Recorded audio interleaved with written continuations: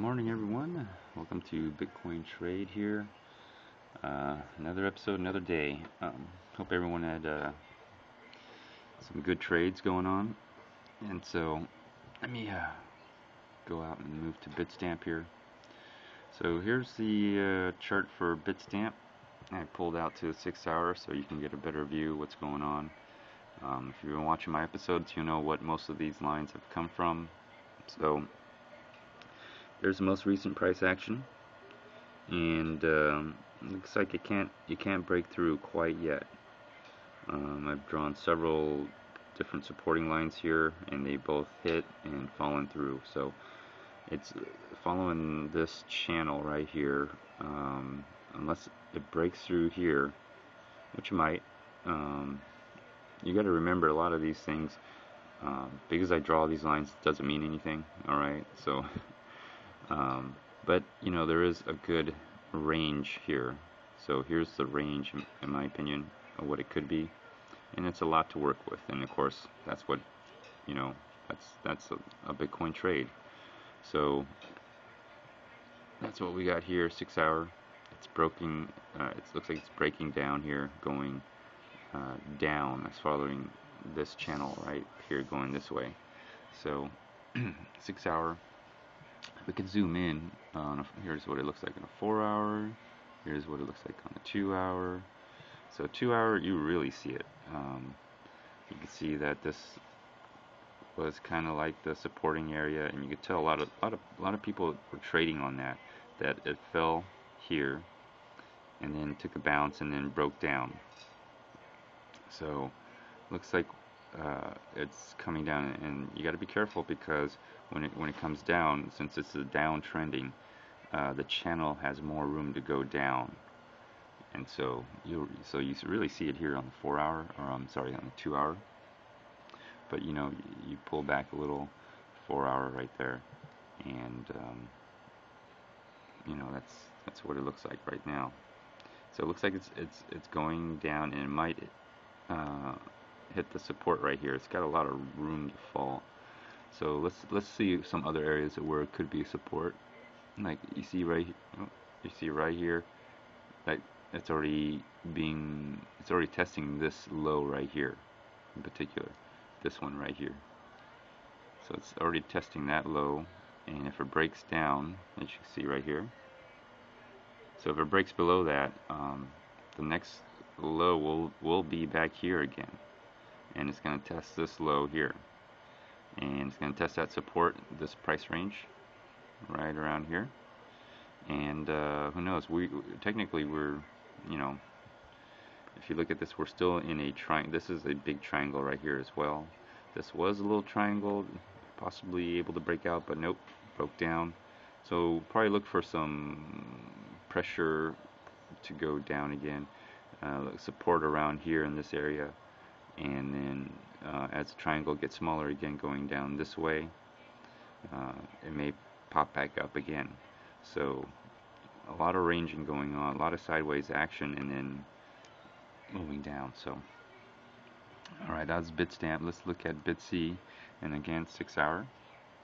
And if you see this little line right here that is the hard top resistant line. So let me see. If you're wondering where the resistant line was, it's it's it's up in this corner, that little line right there. So it's broken through out of this channel and it's gone out. Um, so uh, let me see here. Let me zoom in. There's the four hour, and we'll go to two hour. And on two hour, you see it really good. Um, this is a lot of price movement for a two hour period.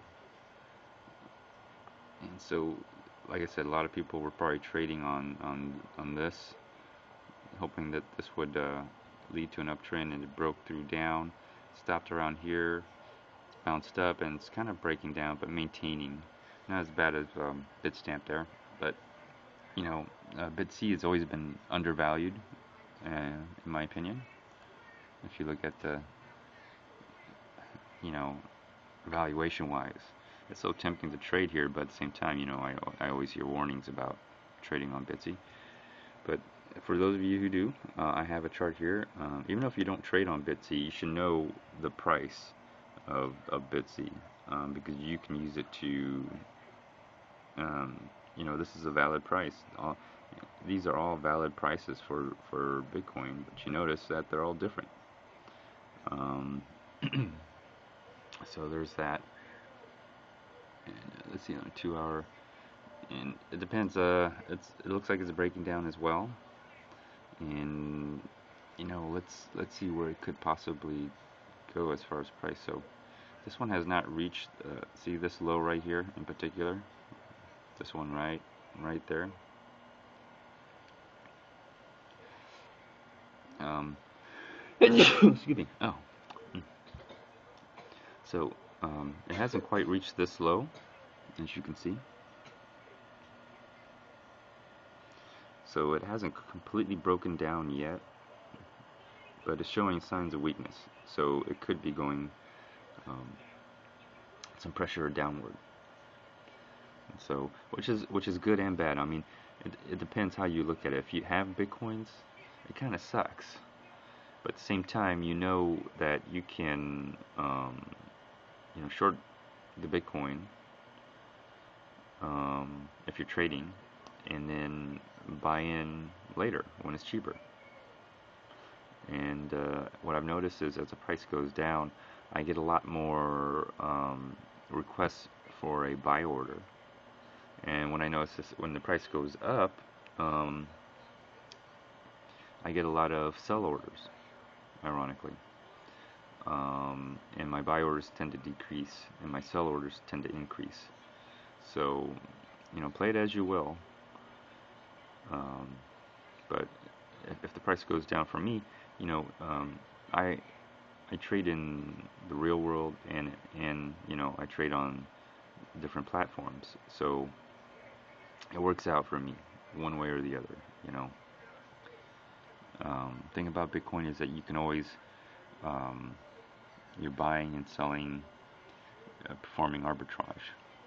It doesn't you know when you perform arbitrage, the the definition is that you instantly, instantaneously um, buy something and sell something instantaneously. Uh, that that is true, but you can also perform arbitrage uh, on a longer time frame period. All right. So it doesn't have to be instant. It could be a couple days. It could be a week old. You know, the, the point is you can buy and sell instantly. Um, that is true, but uh, when you buy and when you sell um, can be extended. It doesn't have to be instant. Uh, so here's uh, Bit Bitsy, yeah, Bitsy. Let's go into Bitfin, and Bitfin has a different look to it, and very similar to Bitsy in the way it worked, but but this one's very different because um, let's see if we go the day. Uh, if you look, this is the hard line according to um, Bitfin. So in a, in a in a way, it's already broken out, and it's still in a slight uptrend here. Um, for me, Bitfin seems to be a, a, tr a trader's platform because of all the all the things you can do. You can short, you can do trailing stops, you can do a lot of stuff like a currency platform, and and then some. And you can do margin trading. Um, they they offer some liquidity stops, um, swaps. Uh, so they've they've changed a little bit of what they've done. Um, I got an email from them saying what they are going to do and how they made these changes and everything. And you know, it, it works for me. I mean, I just I just do straight exchange. I don't mess around with borrowing bitcoins. I don't, you know, I, that's something that that you can do. You can trade on a margin, but uh, for me, you know, that goes against everything. Um, that goes against my principle. You know, bitcoin's not to be borrowed or or loaned out. Um, either you have it or you don't. You know, so there's there's Bitfin. Um, what I, what I kind of do like about Bitfin compared to some of the other exchanges, and when you look at the market depth here, is you'll see a lot of market depth. Um, does it help? No, not really, not that much as you would think. But but it does help when I'm when I'm making the trade at that time at that moment. Uh, especially when I see I see a lot more limit orders in in Bitfin than I would compared to you know let's say like a uh, a BitC um, as far as over over here. Not not this per se but over here.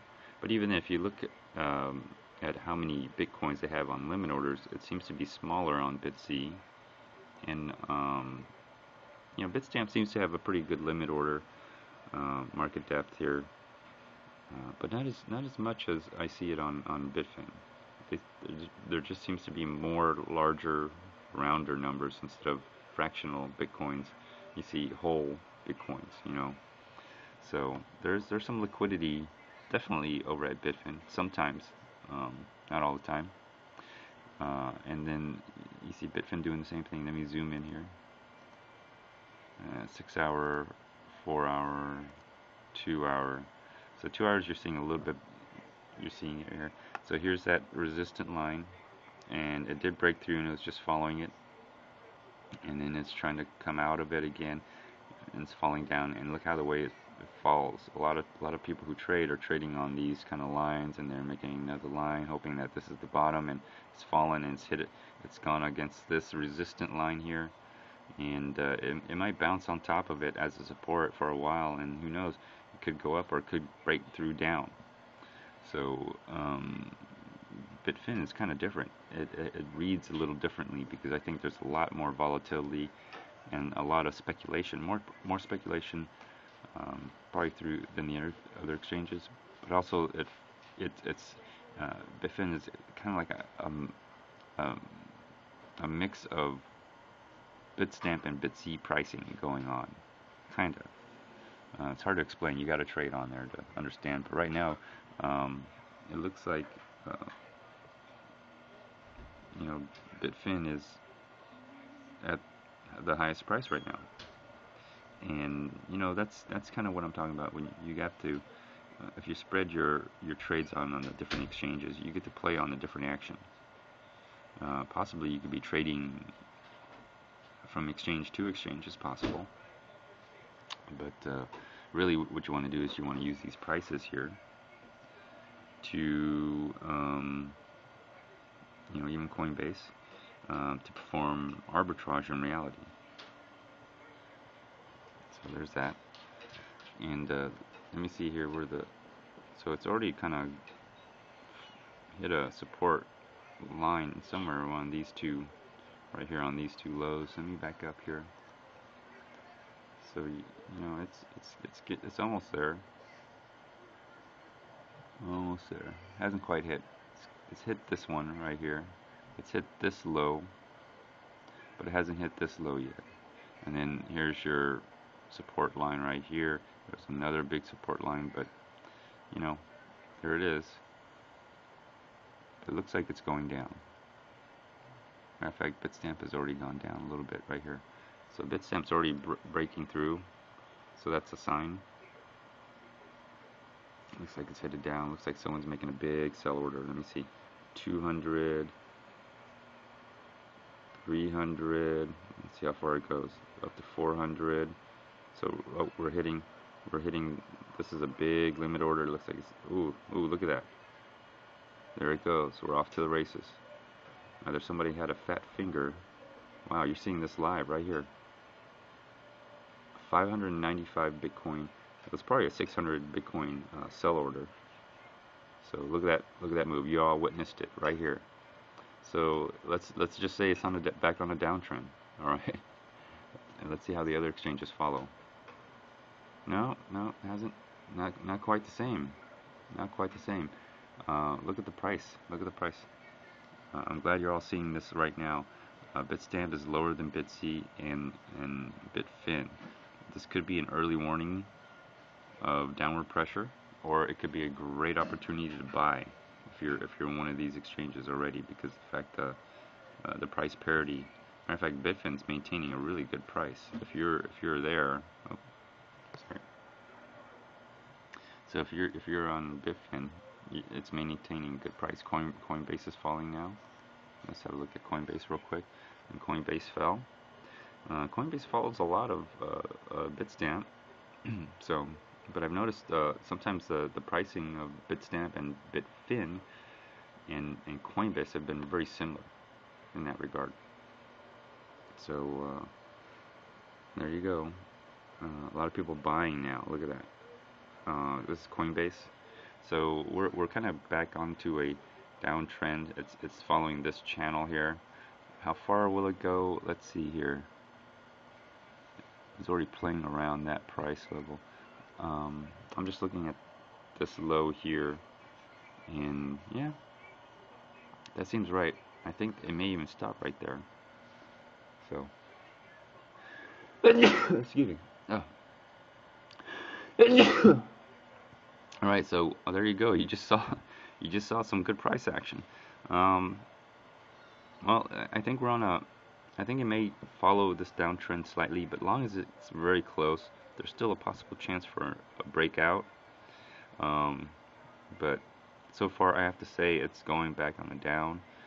Um, at the same time, it could be a great, great price to buy, uh, great price to um, buy into as well. But if you're into money, um, you, might want to sell out here uh, because you're already seeing a um, trending downward here again. And uh, let's take a look at one more thing here, just to make sure. Let's go to this. This is Bitstamp, two days on a 15 minute. Let's see what it looks like now. Boom! Yeah, that's that's amazing. But it looks like it's recovered some. Anyways, uh, let's go to a five day.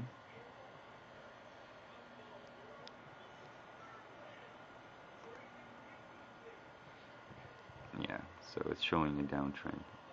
If you look at that, uh, if you look at that line here, uh, the the spread, spreading of the two weighted average, that's really going to affect the weighted average there. So. Um, I would say uh, look for, wait for this to cross, and that may be a good buying signal. Uh, let's let's take another one, uh, Bitfin, same time period. So there you go. So so the um, the 25 period weighted average seems to be the resistance on that. So watch out for that. And then BitC, let's do BitC real quick and yeah same thing uh, the 25 period average seems to be the um, resistance so anyway th there you go uh, let's take a look at one more here let's see if anything's turned red alright it's almost almost looks like it's crossing back down but you never know um, as long as this thing is green uh, most of it uh, you still have to consider the fact that it's still an up channel or a uptrending um, buying signal. So there you go. It's going to be a short episode. Hopefully this is going to help you all trade. You saw it. You saw it as I saw it right now. All right. Um, feel free to comment, like, dislike, or even leave a video response. Until next time, stay tuned. Bye.